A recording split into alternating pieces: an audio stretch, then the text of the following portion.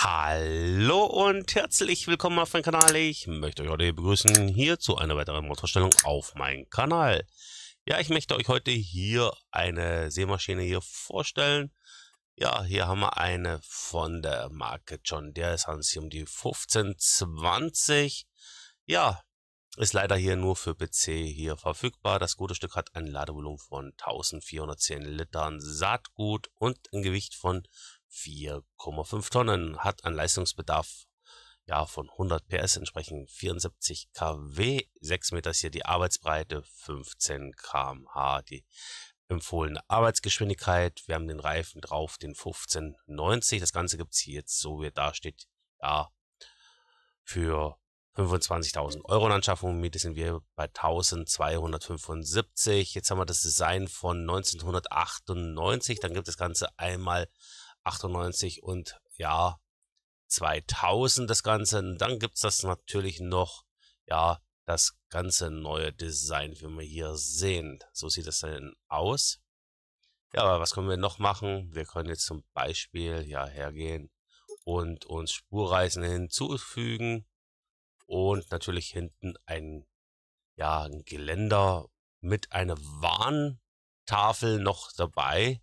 Und mehr können wir hier leider nicht machen. Ja, aber ich denke mal, ist ja nicht schlimm. Wie wir sehen, können wir hier die Standardfrüchte hier einsehen. Und ja, Direktsaat ist, hat die keine, sondern du musst davor gegruppert haben. Ja, und dann würde ich mal sagen, wir nehmen hier natürlich hier den John Deere natürlich.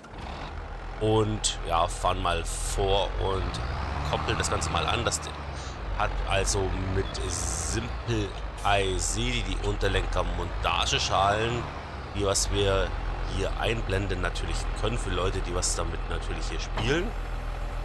So, wie wir sehen, haben wir das Ganze natürlich hier schon mal beladen. So, dann fahren wir mal rüber hier zu unserem Feld. Ich glaube, ich habe vergessen hier zu gruppern. Ja, und wie du hier siehst, für diese Drille sollst, wenn du schnell am Weg bist, natürlich vorne ein Frontgewicht dran haben. Und nicht so wie ich das mache, natürlich.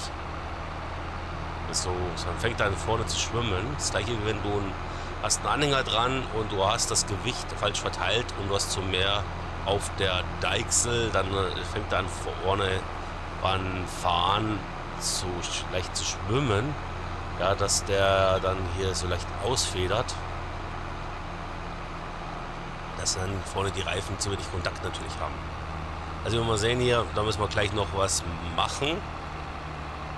So, würde ich mal sagen, bleiben wir mal hier stehen. Und so.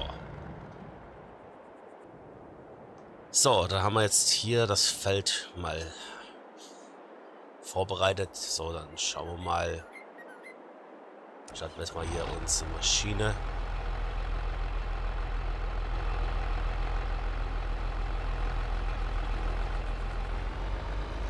So.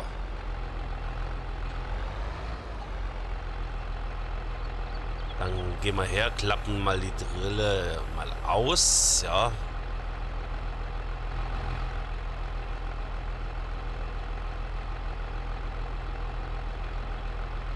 Automat entladen, nein, Abdeckung, ja, wollen wir mal öffnen, wir wollen mal reinschauen, wie das Ganze hier ausschaut. Wir haben eine coole Animation schon mal dabei. So.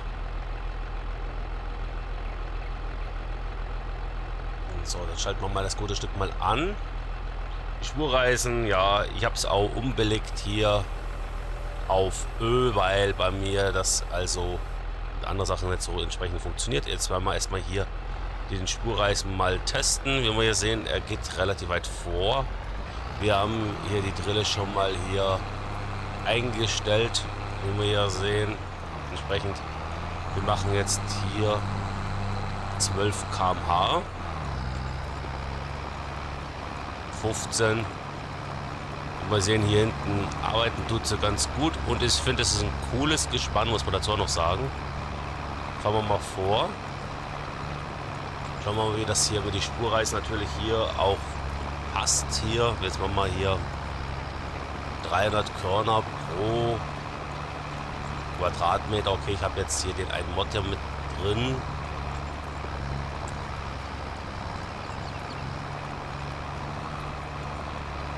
So. Spurreißen. Klappen wir erstmal wieder mal nach oben.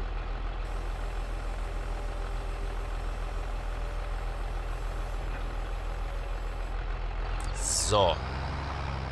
Dann schauen wir natürlich uns an, zwecks wegen der Position von die Spurreißen natürlich.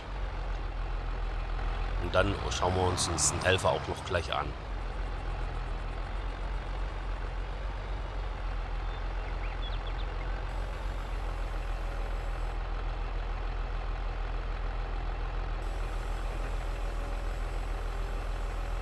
sind wir jetzt hier, der ist jetzt genau hier in der Mitte. Das sieht schon mal ganz gut aus. Jetzt haben wir mal vor. Mal sehen. Jetzt schalten wir auch uns einen Helfer ein. Da wird wahrscheinlich die Spurreisen wieder einklappen. Ja, wird auch. Und wie wir hier sehen, er gibt gleich richtig Vollgas. Aber ich finde, es sieht schon mal ganz gut aus, wie der hier hinten natürlich hier arbeitet. Also alles so schön dynamisch ist. Und dann werden wir uns auch gleich hier unsere Lok mal anschauen. Da sind wir hier.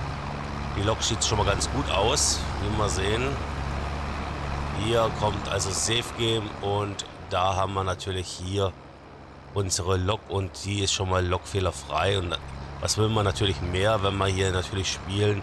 Eine saubere Spiellok natürlich. Ja, wir haben ja davor ja gesehen beim anderen, was dann da steht, hier, dass also mit der Verschmutzung und den Verschleiß. Ja, der fährt ein bisschen zu weit rein. Für meinen Geschmack.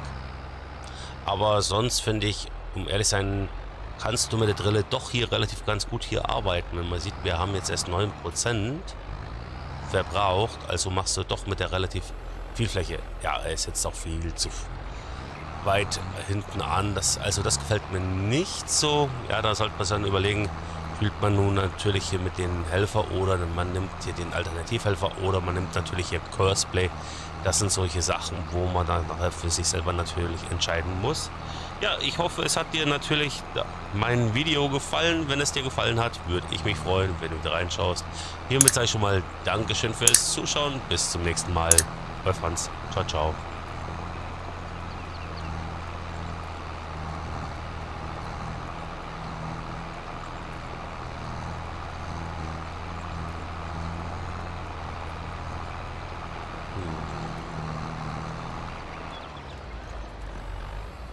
Er fährt viel zu weit rein.